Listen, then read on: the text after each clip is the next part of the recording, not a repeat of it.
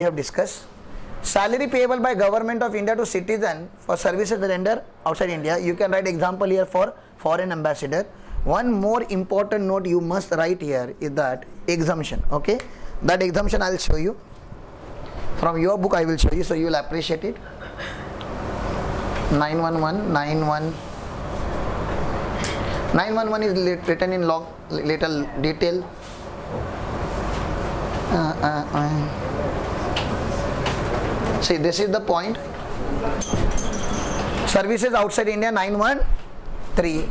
Please understand, these foreign ambassadors they stay there in government buildings or private buildings. Foreign ambassador, Indian ambassador, ambassador of India will be living there in private buildings or government of India will arrange accommodation and they arrange bungalows.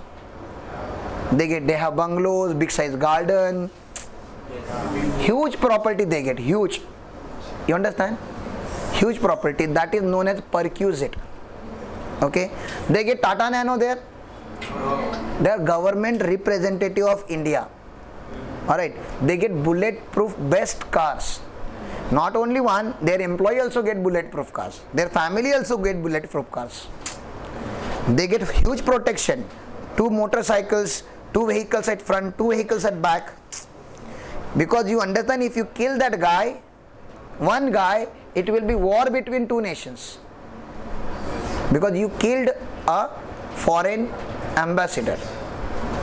Therefore, our country may or may not provide him protection, but that country will provide the protection.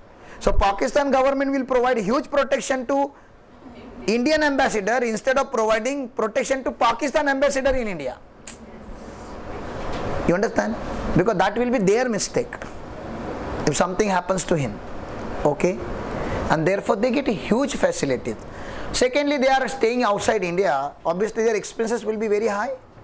So government they give them foreign allowances. So government along with salary give two more items. Salary taxable. Allowances and perquisites not taxable. Their salary is nominal.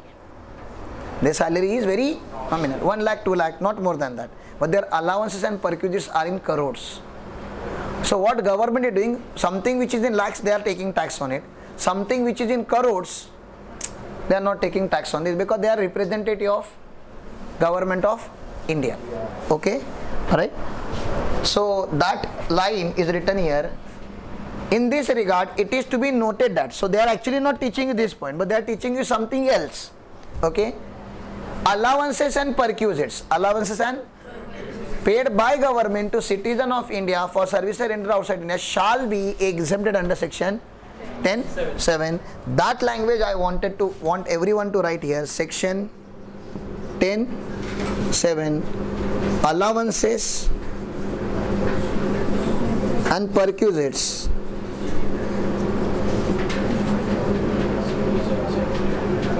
Are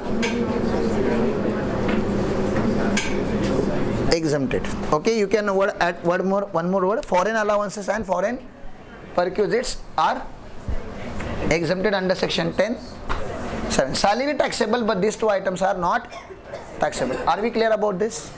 There is no note on dividend and this. Okay? Yeah please start writing this much part